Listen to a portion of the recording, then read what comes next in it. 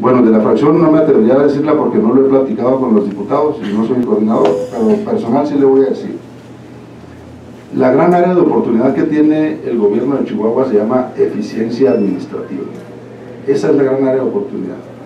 Eh, a mí me parece que el, plantear la reestructura de la deuda no es más que mandar dos señales evidentes. Número uno, el gobernador se rindió, pateó el bote.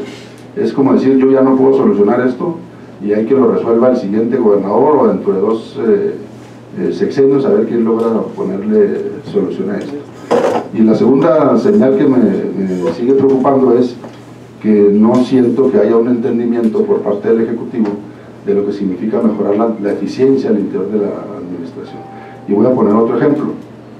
Está documentado con documento, con contrato firmado, en el caso particular de Juárez se compraron artículos que tienen un precio en el mercado de 3 mil pesos y se compraron en 17 mil 500. Es evidente el daño al patrimonio de las finanzas estatales. Y con ese criterio, el gobernador, lejos de castigar a los funcionarios o lejos de despedirlos, los promueve a secretarios.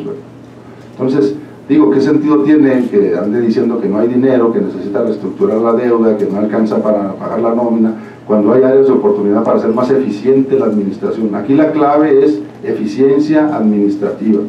Y yo no encuentro por ningún lado ni la voluntad ni la intención de hacer eficiente la administración estatal.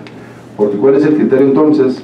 de promover a una persona que probado está con documentos y, contratos firmados que está comprando con sobreprecio. Y vuelvo a insistir, ¿cuál es la intención de hablar de una falta de recursos donde tenemos áreas de oportunidad para generarnos recursos y las estamos desperdiciando? Insisto en el caso del deporte.